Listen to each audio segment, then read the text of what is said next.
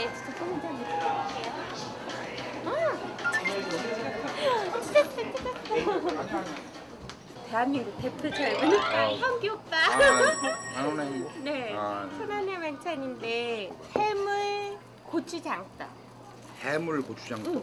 해물 천원 가지고 이렇게 만들 수 있나? 어 해물이 조개밖에 안 들어가서 괜찮아.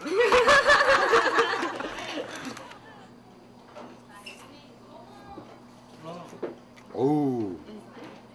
요게 비나 조작조작 내리는 날 먹으면 아주 제대로가. 오 맛있는데 후배에 대한 사랑을 담아서 이것도 하나 먹어봐요. 후배를 위한 선배의 따뜻한 마음이 느껴지네요. 아 근데 고맙다 어떻게 또 날 생각을 했어 그래.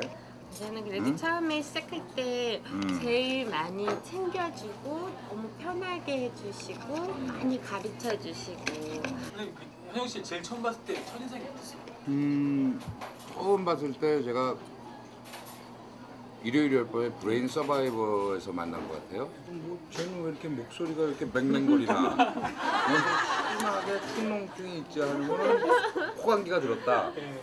이렇게 생각했는데 귀엽더라고요.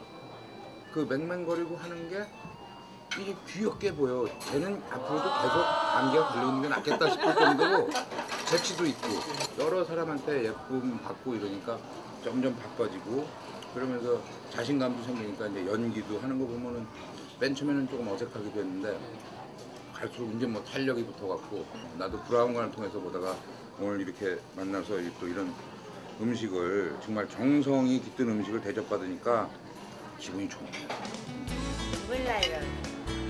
누나, 나 아무튼 잘 버텨보고 건강 잃지 말고 응?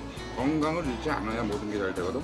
응. 아무쪼록 앞으로 4일 남았으니까 파이팅하자. 여기. 꼭 이길게요. 하나, 둘, 셋, 파이팅!